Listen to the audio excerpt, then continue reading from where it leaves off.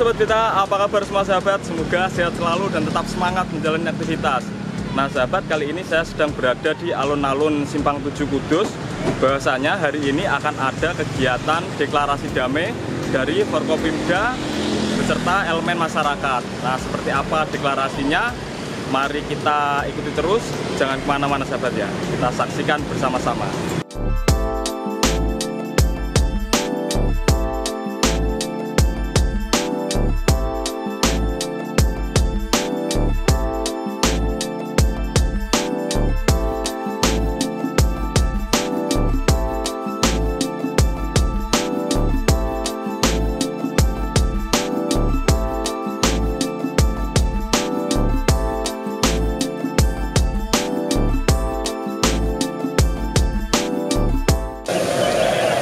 yang diakibatkan oleh aksi unjuk rasa yang anarkis,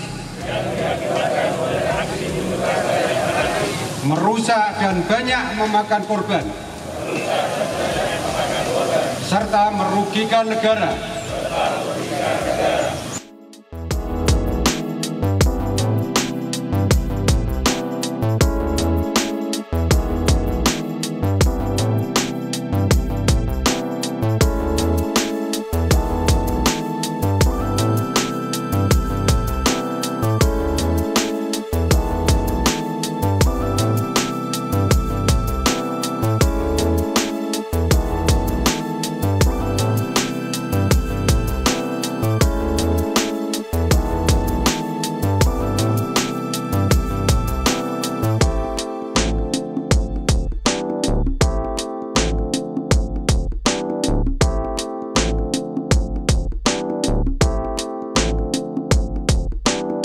Ini deklarasi cinta damai harapan kami uh, untuk masyarakat pun uh, seperti contoh uh, demo cipta kerja kayak kemarin sampai terjadi keanarkisan ini bukan hanya di daerah bahkan seluruh nasional.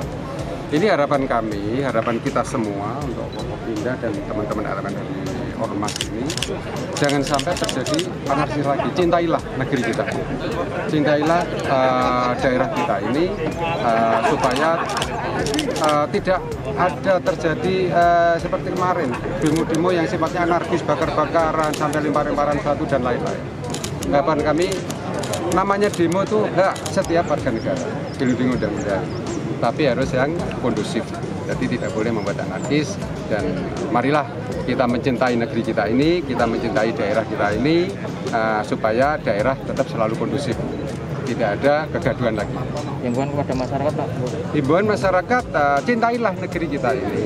Jadi uh, cintailah daerah kita ini uh, supaya daerah kita ini selalu kondusif tidak ada terjadi keanarkisan, kebrutalan atau hal-hal yang tidak diinginkan oleh masyarakat. Ini sangat merugikan kita semua, ya kan? Termasuk salah satu contoh buruh.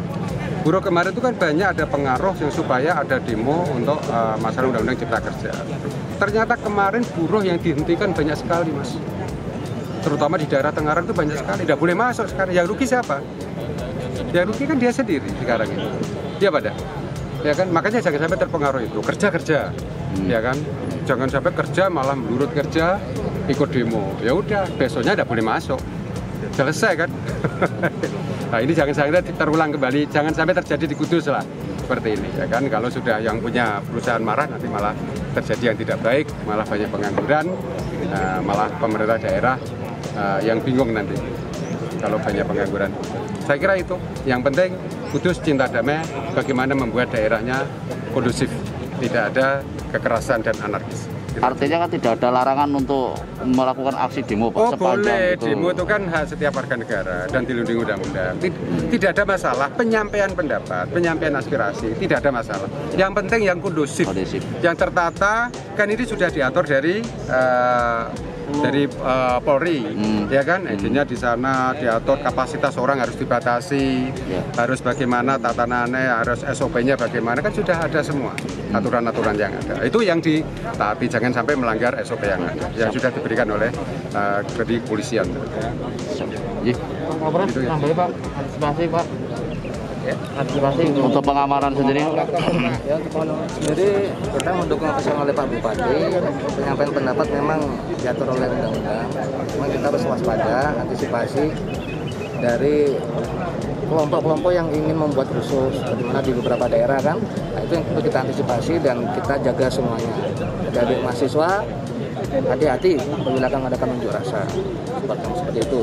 Kemudian kalau bisa ya tentunya kita himbauan daripada unjuk rasa turun ke jalan sehingga menghambat perekonomian dan sebagainya apalagi di masa pandemi ini. Kan alangkah lebih baik kalau menggunakan cara-cara yang konstitusional. Audiensi. audiensi kemudian judicial review ke MK itu monggo silakan. Itu langkahnya lebih bijak dan lebih elok apalagi di masa pandemi bisa untuk Hmm. bisa mensosialisasikan kepada masyarakat.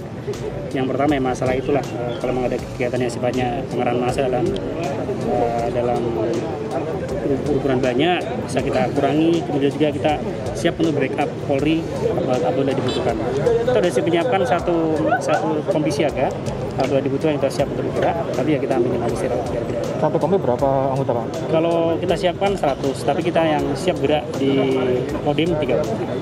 Pak eh, dalam arti seperti halnya TNI Pak, apakah juga ikut melakukan fungsi intelijen untuk bisa mengantisipasi Iya, itu? tentu mas, itu, Ada ya? tentu ya. Karena kita kan saling bersinergi dengan Hmm, hmm. Sintel, eh, dia Intelkam secara se Polri, Polres ya. Mhm. Ya, Ada kita- indikasi Pak? Ya, kalau sementara belum ada.